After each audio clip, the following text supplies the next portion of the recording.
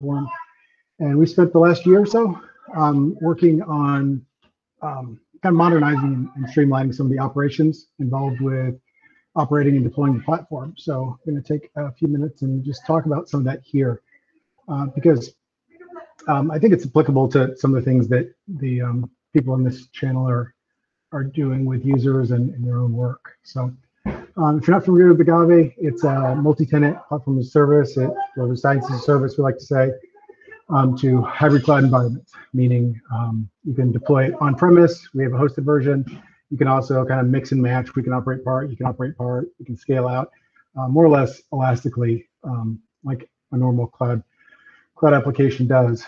Um, you can think of Agave like a Salesforce for science, but um, we're not really selling anything, and there's really nothing that we're selling. So um, it's really just a, uh, a, platform that you can um, pick up and use and white label for your own purposes. Agave does four things: uh, manage data, run code, um, allows you to collaborate anywhere, and really connect just about anything. Um, it's an API, uh, RESTful API platform uh, designed from the ground up API first, and um, has a lot of uh, flexibility for you to add your own services and and expand. Um, previously, uh, well, really up until about a year ago, we'd been um, deploying it as um, you know, more or less a, a, cloud native application, but we've been handling um, a lot of the, the details ourselves. So it, it, was true that you could deploy entirely in um, in any cloud. Uh, we we'd done uh, POCs and, and production deployments with a lot of different folks um, on, on all the major cloud providers, as well as various flavors of OpenStack, as well as your own self-hosted infrastructure. Um, we uh, collaboratively managed a few different tenants as well. And that was all fine. We had uh, Ansible automation for everything, but there were some pain points in there, right? So we had a whole host of settings, um, lots of lots of knobs that you could twist and turn to um, to tweak the performance and behavior to make it fit in all these different environments. Uh, because it, you know, as much as you, you try to generalize this stuff, everything turns into a snowflake at, at some point. So um, the, uh, the Ansible automation became um, a little bit complicated. Uh, we had a ton of documentation written um, that you know every reader absolutely read from start to finish because you know users love doing that. Uh, but it was a rather complex configuration matrix and um, there's just a lot of stuff that you needed to know um, if you're going to go start uh, wading into the waters of of operating and and maintaining distributed systems. There's you know just a, a learning curve that you have to go through to understand uh, basic things like, hey, I, I want high availability, right? I, I want to go from um, uh, uh I want to go from um, a single host deployment to a high availability setup. Well, you're not going from one to two. You're going from uh, probably one to five, right? And stuff like that just didn't grok well with people that hadn't been exposed to it before. So there's some of that. There's, there's also day two operations, right? Once you had a um, an instance up and running, um, scaling it was still a manual process. Uh, we had a lot of playbooks to help with it, but it was still something that you kind of had to understand and know. And then lots more configure options and um, then monitoring and logging. Everyone has their own in-house solution that they're using for their data center. So um, people had to, to uh, wire that stuff up and independently um, which meant that we couldn't just ship dashboards out of the box because, well, you know, we, we didn't have every available um, solution and we didn't have that much manpower. So there was always um, a lot of uh, friction, right? It wasn't just stand it up and, and run it and forget about it. It was always, hey, you probably need to think about having like a, a quarter FTE um, to operate this infrastructure for, you know, your organization. Um, not the worst thing, but it was still something to be aware of.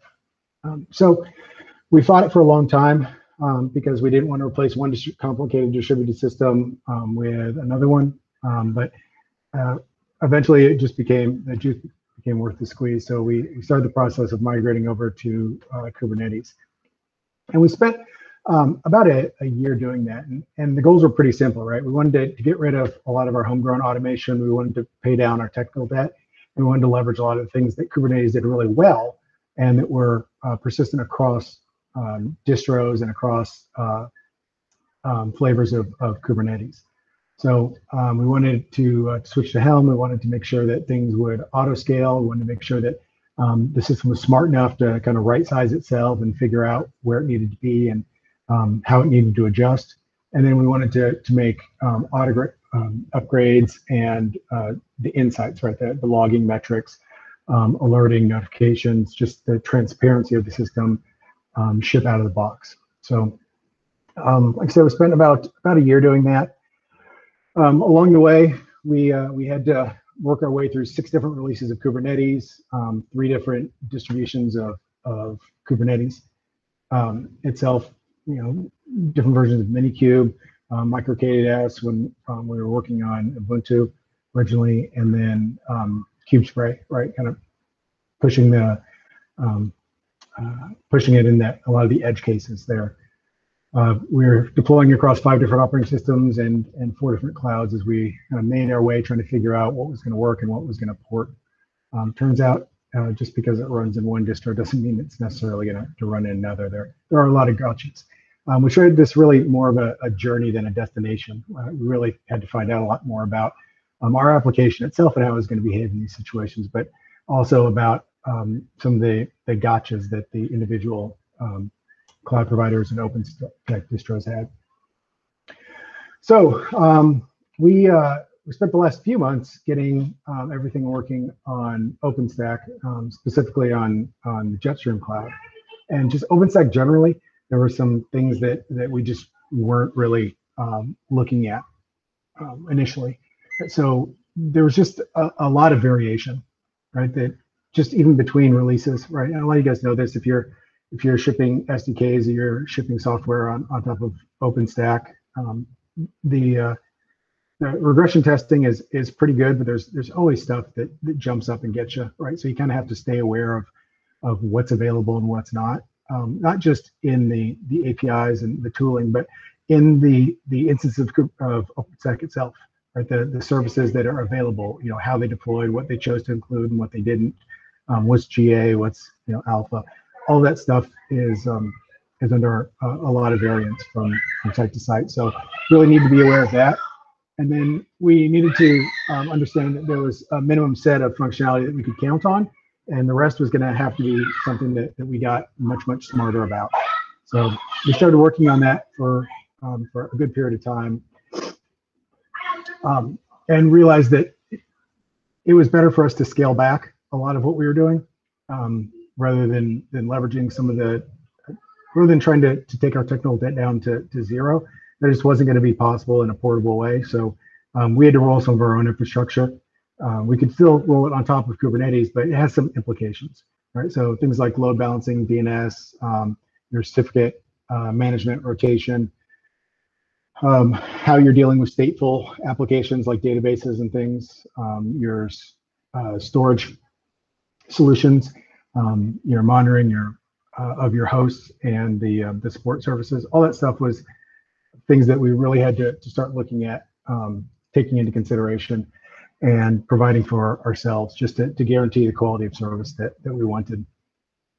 Um, storage was also a big one, um, specifically on, on Jetstream, just because um, uh, they have Manila there. Manila was not super um, super rock solid for us, so we had to to work around um, a lot of issues with latency, um, connections dropping, uh, blowing out the the number of connections that we could actually have at any given time, mounts disappearing just really fun stuff, right? Um, so we, we reined back our, our expectations a little bit and, and looked at other ways, uh, specifically deploying um, a bunch of extra block storage um, to the hosts and then uh, just altering the, the, architecture to work around some of the things that we otherwise would have done if we had uh, you know distributed storage system.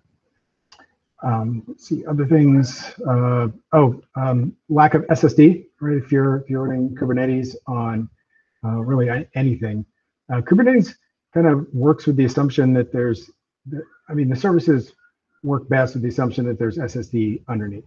Um, you can do it without, but you start running into a lot of issues when you start um, scaling out, when you put the, the services under load. Um, even when you're load balancing, you're properly on outside of, of Kubernetes, and then um, taking advantage of the, um, the local replication proxy inside the cluster um, you can push the APIs over um, fairly easily if, if your queries back to etcd aren't quick. So that was something that we really had to adjust and, and really um, took us away from being able to do any kind of uh, functions as a service. Um, also, uh, don't use Flannel. Uh, you'll like your life a whole lot better if you just completely avoid flannel um, for your, your networking plugin in um, in OpenStack. It it was horrendous for us. Um, but that's about uh, all I really wanted to uh, to cover here. I, I will say that at the end of the day, um, the juice was worth the squeeze, um, but there was just a whole lot of information and experience that we gathered along the way. So um, if you have any questions of it, feel free to to ask. You can reach us at all the usual suspects, and these links will be posted in the Etherpad. Thanks.